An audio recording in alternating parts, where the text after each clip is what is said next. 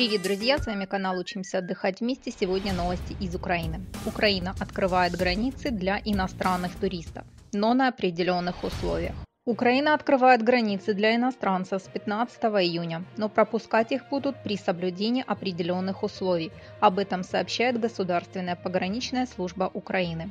Иностранные граждане и лица без гражданства смогут пересекать государственную границу на въезд в Украину с момента вступления в силу постановления Кабинета министров Украины при наличии законных оснований для въезда, определенных законом Украины о пограничном контроле и соблюдении санитарно-эпидемиологических норм, рассказали в ведомстве. Въезжать на территорию Украины могут иностранцы только при соблюдении определенных условий – так как для въезда нужно иметь страховой полис. Кроме того, людям из стран с широким распространением коронавируса придется 14 дней находиться в карантине в обсервации. Не придется сидеть на карантине гражданам государств с широким распространением COVID-19, которые не находились на территории этих государств в течение последних 14 дней, дипломатам, работникам представительств официальных международных миссий и организаций, аккредитованных в Украине, и членам их семей. Также изоляция регистрации не требуется водителям и членам экипажа грузовых транспортных средств, членам экипажей воздушных и морских речных судов,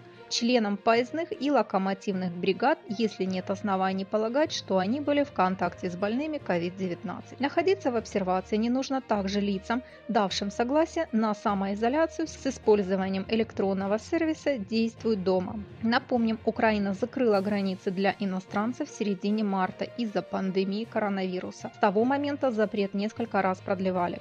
С 15 июня Украина возобновила международное авиасообщение с государствами, которые открыли аэропорты для рейсов из Украины. Пока для туристов и деловых путешественников доступны 4 страны, но список государств будет расширяться. С 15 июня из Киева можно вылететь в Великобританию, но карантин там будет 14 дней по прилету, в Албанию из США без ограничений на границе и без тестирования – в Турцию без ограничения на границе тестирования по прибытию и с 27 июня в Тунис с прохождением тестирования по прибытию.